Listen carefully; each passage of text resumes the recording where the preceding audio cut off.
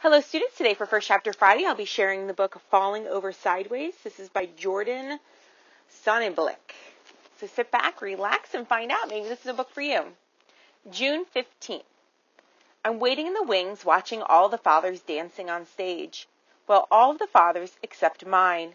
It's my annual dance recital, and I've just turned 14.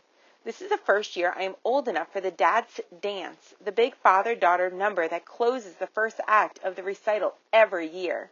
I have waited since I was a little girl to be on this dance. But just because you've waited for something doesn't mean you'll get it. For all the other girls around me are whispering, pointing, giggling as their dads ham it up in the bright lights of the theater. There is booming surf music playing, and at the moment Half the men are pretending to water ski, while the rest are acting like lifeguards, throwing frisbees around, hula hooping, and even flying imaginary kites. It's incredibly dorky, but also incredibly sweet. My eyes burn, and I step back into the shadows a bit. I don't want anybody to see me tearing up, but it's hard to be inconspicuous as I dab my face with the corner of my ridiculous tiki girl skirt. My best friends at dance school, Alana Salias, and Catherine Brine notice and drape their arms over my shoulders. This only makes the tears come faster. I'm fine, I whisper, a bit more harshly than I meant to. They both pull away and give me that look, the sympathetic but doubtful one that everybody has been giving whenever I claim to be okay. I have probably gotten that look 10,000 times since the morning last September when my father and my life tilted and slumped over sideways. Alana and Catherine let me go, or at least they do after I shrug their arms off my shoulders, and for some reason I think about when I used to go swimming with my dad when I was five years old. I was in half day kindergarten back then, and my father, who writes novels for a living, quit his day job so he could spend three afternoons per week with me. We had little rituals for each day. Wednesday was pizza day, Thursday was movies, and Friday was swimming, which was the absolute best.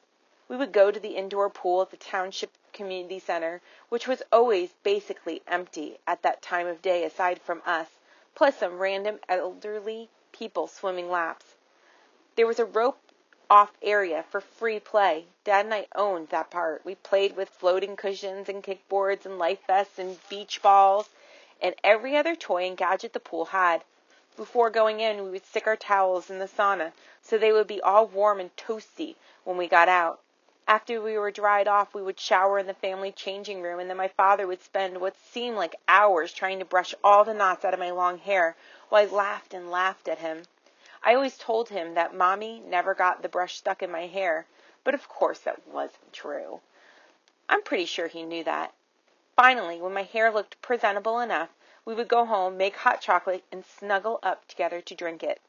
But none of that was the best part. The part that I will always hold close to me. The best part was when my father would challenge me to swim from the edge of the pool to him. I had taken some swimming lessons, but I wasn't very confident in my skills yet. Every week my father would move a few steps farther out from the wall. Then he would say, Come on, Claire, swim to me. I have you. I would say, What if I can't get to you? And he'd say exact same thing every time. Don't worry, honey pot. I always get to you.